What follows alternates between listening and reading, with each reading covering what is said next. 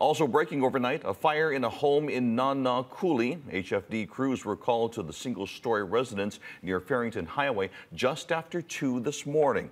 We're told smoke and flames were emerging from all sides of the building. It took firefighters about half an hour to extinguish the blaze. No one was inside at the time and no injuries were reported.